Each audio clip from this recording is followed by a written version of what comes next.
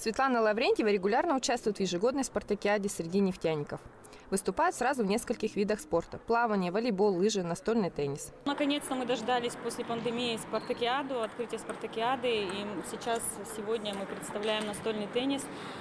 А, Конечно, правила чуть-чуть изменились. Раньше женщины входили в состав с мужчинами, сейчас женщин сделали отдельно, но это тоже хорошо. Можно выявить сильнейшего э, претендента на участие в городской спартакиаде «Бодрости и здоровье».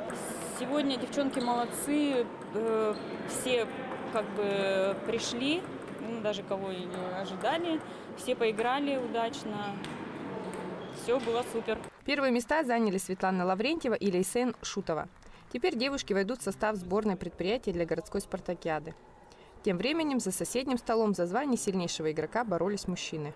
Ну, Пока мы проиграли э, седьмому цеху, э, старались, стремились, но эти команды, команда один из лидеров, то есть мы ставили своей задачей побороться, мы это сделали, то есть получилось, дали бой. Я своим примером поддерживаю спорт, стараюсь и стремимся мы развивать. То есть немножко тренировки не хватает, но я так думаю, мы подтянемся и на следующий год дадим бой уже более серьезный.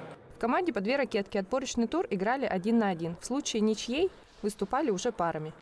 Начало, так сказать, положено, пусть не очень хорошее, но, если честно, меня всегда такие мероприятия радуют. Есть возможность поиграть со многими людьми, которые играют как раз-таки лучше, чем ты.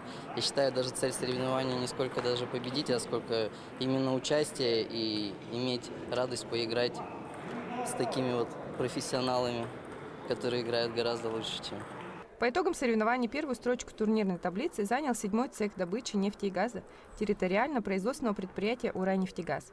В десятку сильнейших вошли также команды восьмого и четвертого цехов. Елизавета Портнова, Александр Кашкин. Наши города.